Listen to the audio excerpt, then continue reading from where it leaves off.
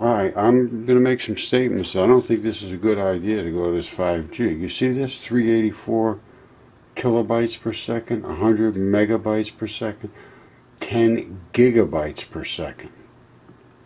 Moving to 5G. This is not a good plan, and I'll show you why.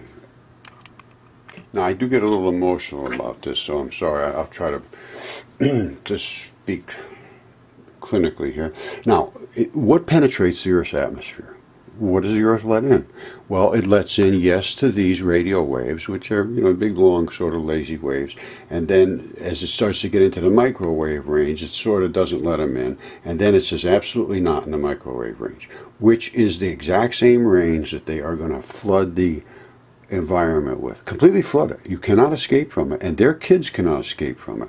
And the, the, the fetuses that are being developed cannot escape from it, and animals can't escape from it, and plants can't escape from it, and nothing on earth can escape from it once they start to flood the earth with this. And the earth says, don't bring it in here. Well, well why? You know what happens in a microwave oven. All right, it just, it just rips the molecules to pieces. Now, this oh well is not going to be that that that much um, power. Well that's okay. It's still going to be shaking the molecules. I don't care if it shakes them if it rips them and tears them you're going to burn up. Well obviously they're not going to go that high but they are going to try to push this through the atmosphere which does not want it to go through the atmosphere. That's why they're going to have to put up so many cell towers. It does not want to go through the atmosphere. Anything of moisture it, it, it, stops it. says, no, no, no, no, don't come here. we don't want you here. That's the key. And they just well, no problem. We'll just override nature and we'll just spit it all over the place and we'll have a lot more um, video games. Big, big, big mistake. Yes, you can come in radio waves. No microwaves allowed. Infrared, yeah, you let you warm up. Visible light, absolutely ultraviolet, X-ray, gamma, uh-uh, gonna hurt you. Stay out. The Earth knows, and we think we can just do anything we want and it'll all be fine. This will lead to some serious, serious health issues, and I'll show you why I can say that. Powerful 5G technology throughout the United States. However, some studies show a link between cell phone radiation and cancer. Dan Cohen has the story. The race is on among cell phone providers to upgrade to fifth generation wireless technology, or 5G. That would require installation of new equipment across the U.S., a gargantuan effort every wireless company is already working on individually. 5G uses high frequency waves that support faster speeds but don't travel as far, requiring a network of antennas built in closer proximity than the existing infrastructure. Wireless companies plan to use light poles, streetlights, anything to minimize their expenses. But health experts worry about potential risks associated with exposure to radiation from cell phone antennas. Cell phones emit low levels of radio frequency energy, or RF. In 2011, the International Agency for Research on Cancer identified RF fields as, quote, possibly carcinogenic to humans. A study in Sweden found that Swedes who talked over cell or wireless phones for over 25 years were at three times the risk of developing glioma, a brain tumor that is often malignant, than those who used them for less than a year. And in March, a large-scale lifetime study of lab animals confirmed a link between cell tower radiation and cancer. The animals were exposed to levels legally permitted by the United States Federal Communications Commission. I discussed these studies with Dr. David Carpenter, director of the University of Albany's Institute for Health and the Environment. They show a very significant increase in glioma and glioblastoma only on the side of the head where you use the cell phone regularly and increasing with risk and the longer you use it. They also have some evidence that the younger you are when you start to use the cell phone, the greater the risk. Carpenter said these risks can be avoided by using the speaker function. All right. He's talking about the old style technology. They have already discovered that it's causing apparently cancers. Now, uh, so let's, let's or an earpiece and keeping the phone a short distance away from all parts of the body. But the 5G rollout will effectively expose the entire population to dangerous effects. The rollout of 5G is very frightening because what this is going to do is place a mini cell tower every 300 meters along every residential street in the country. And that's going to mean that nobody is going to be able to escape the radiation that comes from those 5G devices. If you walk down the sidewalk, if you live in a house there, uh, you're going to be continuously exposed. Countries like China, Italy, India, and Russia have far more stringent regulations over cell tower radiation. Well, there's no sense to go any further with this, but they do, have, and they also don't like GMOs. They understand the dangers that these things uh, possess and, and, and pose to us as a society and as a, a race, as a human race. These are not the things that are, are, are sent down from the heavens. This is not something that is supposed to be hitting us. this is not something that is correct. This is a serious mistake in my, my point of view. There's nothing wrong with what we got now. It's it may even still cause cancer, but th- what we're, heading into could be a very very very bad place. Needs a tremendous amount of research before this. Well, it, I don't think there's any way it could be used safely because it's just not supposed to be. That's my opinion, and I, I really can't see a way around it. Right, I think it's uh, this needs a much better look at what 5G might potentially unleash. Now, uh, this was experiments done by uh, Guido Ebner and Heinz Schurch exposed cereal seeds and fish eggs to electrostatic fields, in other words, to a high voltage field in which no current flows. So they're magnetic fields surrounding high voltage well, actually, they're not high voltage because I read the whole thing about it, and it's not that high voltage.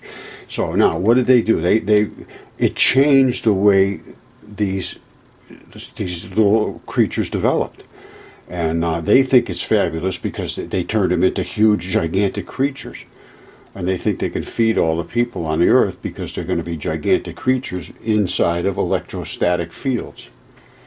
Um, you could read the whole research on this. Now they did all these things and da da da da. And it showed, I mean, it was very serious, very serious research. In 1992, uh, a Swiss pharmaceutical company, Novartis is what it's called now, um, patented this and um, stopped the research on it. Now it's recently been reinvigorated. It appears.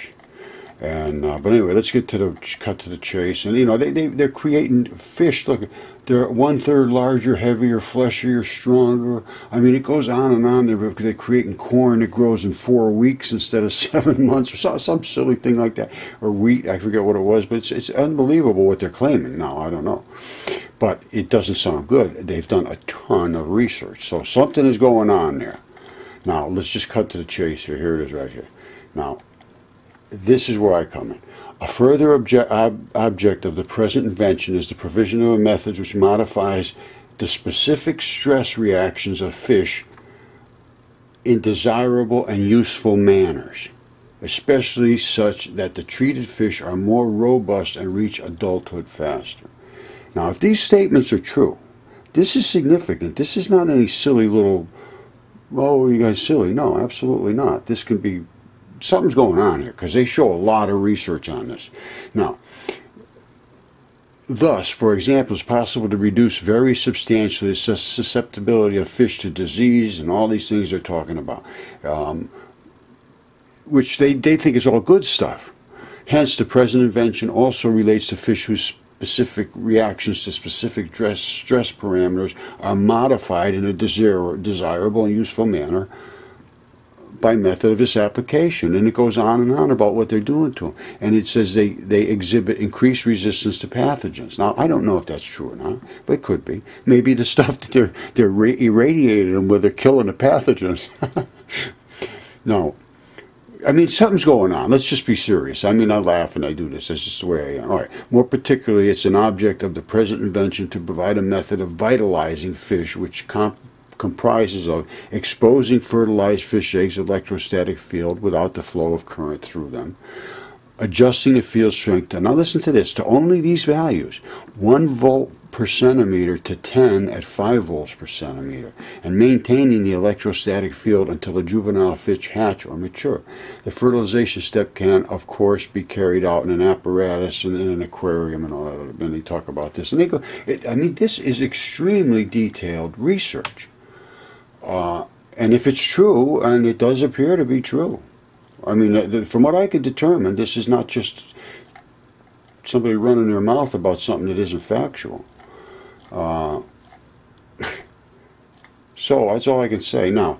Um, but the point being is there's a uh, there's a big big big big reaction to this this stress levels of of um, electronic vibrations.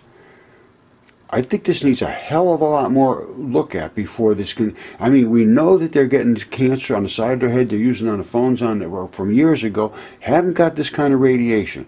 Now we're going to be pouring this thing not onto your head, but everywhere you walk. Every bit of your body will be exposed to this, and they're going to try to force it as far as they can get it. I'm pretty sure, and I don't think this is good. That's my feeling.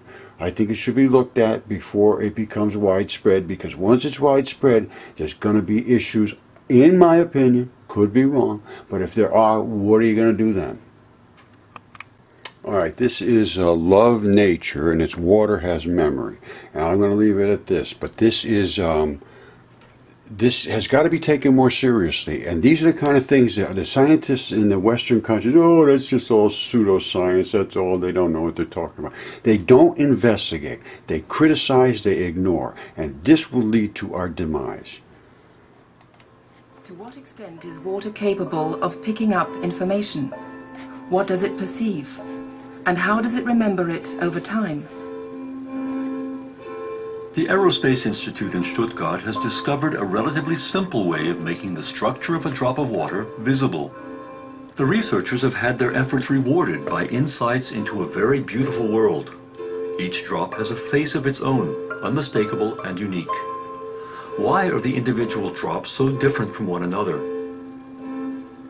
We got a lot of people to come to a lecture hall here at the Institute, gave them all the same water, had them make drops at exactly the same time, collected all the drops, and then discovered that each individual produced different images from the same water. And here you can see the results.